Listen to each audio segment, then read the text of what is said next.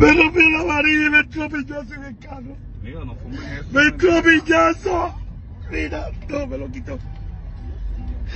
Tú no te vas a ir para Cuba, pero tú te vas a quedar preso. Llegando a Cuba por la estación, llamando a la policía. Mira cómo me ha dado golpes, mira los golpes. Eso es mentira. Mira, me reventó la varilla de la mano ahora mismo. Eso fue el que me vino para arriba. Qué maricón. Ya hay tiene que terminar mal, mira lo que me ha hecho, bajo. Mira cómo me ha levantado.